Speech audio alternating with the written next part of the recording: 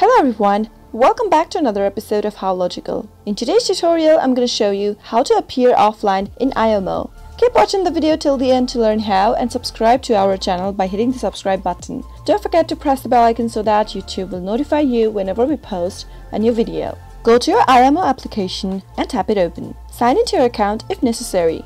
From your chat screen, tap on the profile picture at the upper left corner and from your profile, tap on Settings. Under Settings, Go to the privacy button and give it a tap. At the very top under chats, you can see last seen option.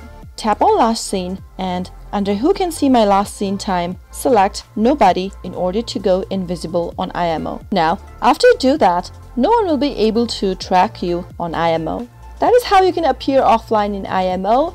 I hope the tutorial was helpful to you. If it was, go ahead and give it a thumbs up. Feel free to comment down below in the comment box if you have a question or a feedback for us. I'll be back soon with more tutorial episodes again. Thank you for watching.